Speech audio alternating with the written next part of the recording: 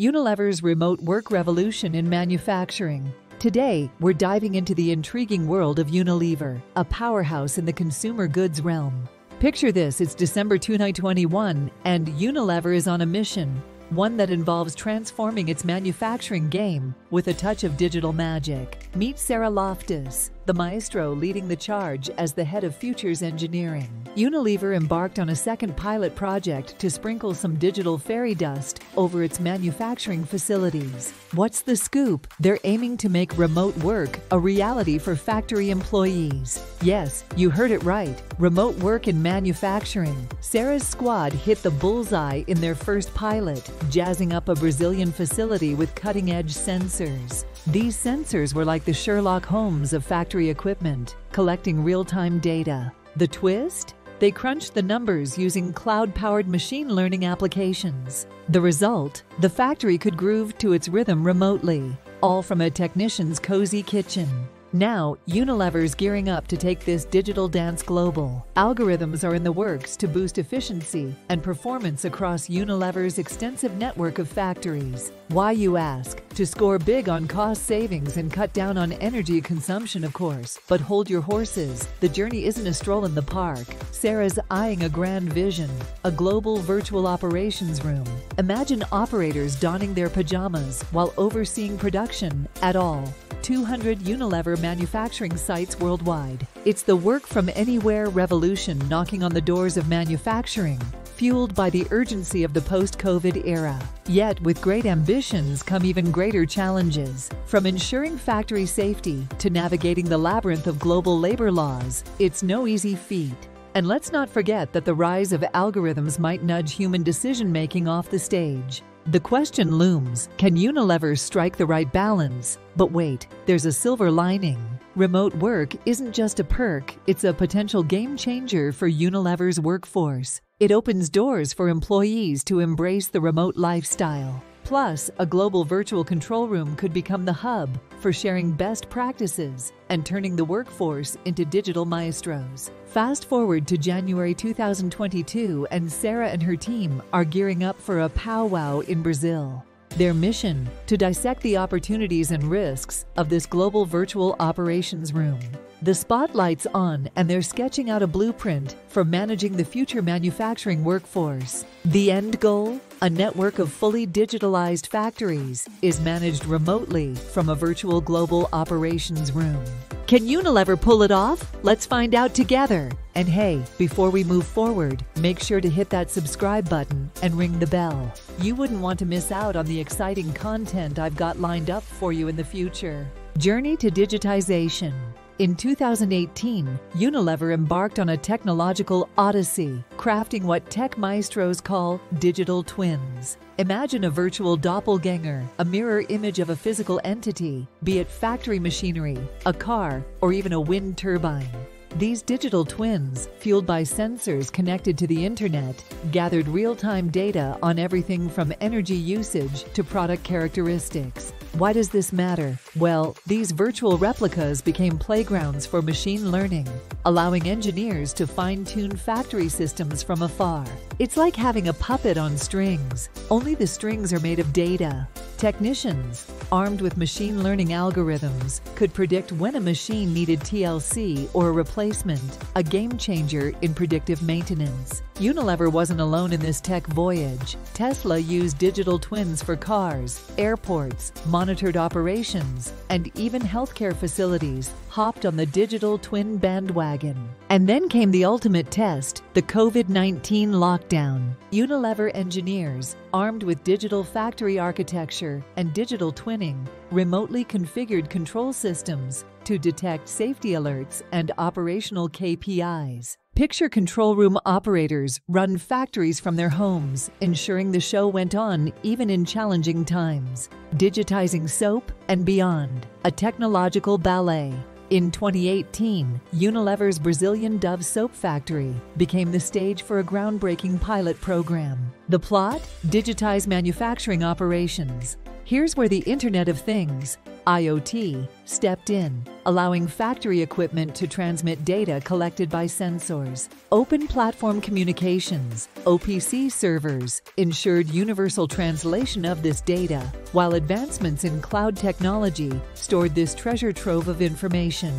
Data, once imprisoned in local silos, found liberation in the cloud. Unilever's secret weapon? A data lake built on Microsoft's Azure cloud acts as a centralized repository. Andrew McDonald, the guardian of Unilever's digital realm, emphasized the democratization of data. But with great power comes great responsibility. Enter the cybersecurity guardians, shielding the digital twin and PLCs from cyber threats. The Analytics Hub, decoding data for progress. Parallel to the Digital Twin Initiative, Sarah Loftus, the virtuoso leading the charge, established an analytics hub, a common platform where data danced within and across Dove factories, setting the stage for synergy. Algorithms, the choreographers of this dance, synthesize data and set parameters around key decision points. The impact was palpable. Spreadsheets took a back seat as algorithms stepped into the spotlight. The Hammond factory witnessed material waste cut by half thanks to its analytical prowess. The Analytics Hub wasn't just a remote team. On site members validated data, ensuring a harmonious collaboration. Transforming the future, laundry detergent in the spotlight. In 2019, Unilever's detergent factory in Brazil joined forces with the power duo, Digital Twins and Analytics. Imagine a tower, 140 feet tall, producing 700,000 tons of powder laundry detergent annually. Before digitization, human hands tweaked settings based on weather conditions, leading to inconsistencies in product quality. Enter algorithms, the unsung heroes. They automated the process, making real time adjustments, resulting in consistent product quality. Time reduced, safety improved, and a 13% reduction in gas consumption mark the success of this tech marvel. Embarking on a virtual odyssey with digital twins and the Analytics Hub, proving their mettle in the Dove factories and beyond. Unilever set its sights higher. In 2020, Sarah Loftus and her team set sail on another daring pilot, this time involving the Dove factories in Valinhos and Mannheim. Their mission? To test the waters of a global virtual operations room, a centralized hub where data analytics and factory operations harmonize into a symphony of real time remote control. The pilot had two acts. Act 1 focused on creating a virtual team to analyze data and optimize operations using new control logic and set points, a natural progression from the Analytics Hub. Safety took center stage, with on site teams validating algorithmic changes to mitigate risks. Dove factories, with processes reaching temperatures exceeding 238 degrees Celsius, left no room for errors. The aim was to complete this phase by March 2022. Act 2 aimed for the stars, an entirely autonomous factory by early 2023, where no workers would roam the physical floors. Mariana de Oliveira Carvalho envisioned turning off the lights in local control rooms, ushering in a new era of fully remote operation. Decoding the symphony, autonomous decision making, to make the global virtual operations room a success, Loftus believed in further automating decision making. The future, she asserted, lies in organizing and parameterizing data so that most decisions become automated.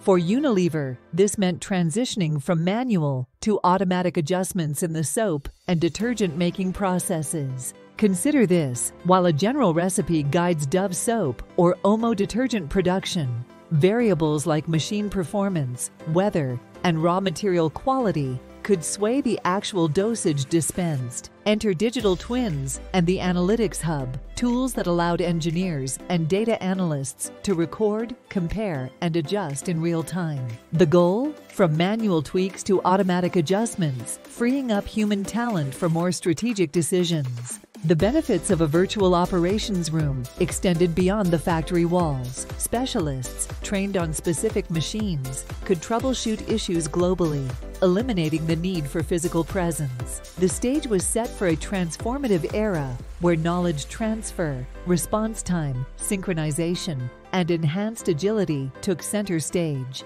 Navigating challenges, the uncharted territories. Yet, the team wasn't oblivious to the challenges ahead. Technical risks loomed large, with a complete reliance on evolving technology. Infrastructure stability, data streaming, and the sheer volume of information were significant concerns. But it wasn't just about the tech.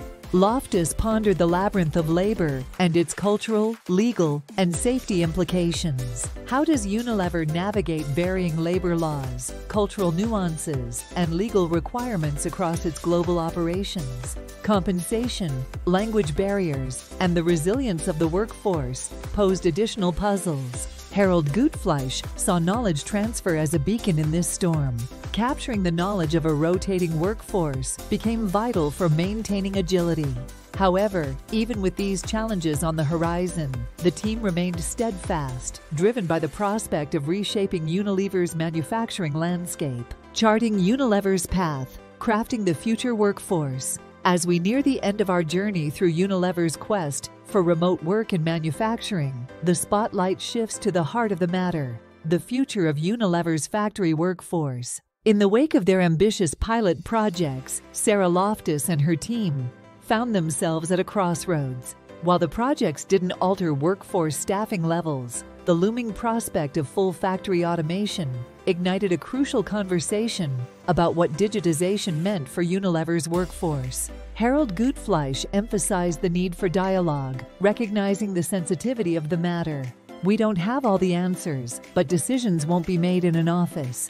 We need to talk to the people who do the work to get their input, he shared. Unilever's manufacturing workforce had already undergone transformations since 2017, aligning with broader efforts to automate production.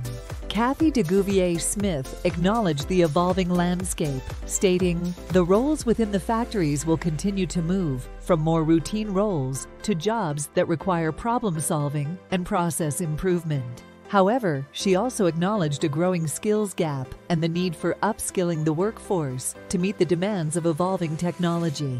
Bridging the skills gap, a journey of upskilling. The shift towards automation prompted Unilever to consider upskilling its workforce. Transitioning workers from basic roles to technical operators became a focal point with a vision of investing in current basic operators to equip them with the technical skills necessary for higher level responsibilities. This transformative journey, often requiring a three year certification, aim to bridge the skills gap between evolving technologies and the workforce's capabilities. Global variations added complexity, with de Gouvier Smith navigating differences in compensation rates, working hours, labor regulations, retrenchment pay, and local labor union contracts. The Future of Work initiative, launched in 2016, played a pivotal role in helping workers adapt to new technologies, providing training, and facilitating career transitions through online learning and entrepreneurship training. Challenges on the horizon talent retention and market dynamics. The digitization wave brought forth its own set of challenges. Talent retention, particularly in highly digitalized factories, proved to be a challenge. De Gouvier Smith noted the tug of war for highly specialized skills, where the market often pulled talent away, seeking rapid career progression. Balancing the desire for quick career advancements with the need for talent retention posed a delicate dance. The grand finale, crafting the vision of tomorrow, as Loftus and her team worked tirelessly on proof of concept options for the global virtual operations room. A myriad of challenges lay ahead. Safety and cybersecurity were paramount, with decisions looming around where remote technicians and process engineers could reside. Coordinating with technical operators scattered across global factory locations added another layer of complexity. The burning question lingered how to demonstrate the scalability of the pilot effort beyond the Dove factories. And so, our journey with Unilever reaches its pinnacle. The vision of a transformed, digitized future workforce stands on the horizon. Thanks for watching.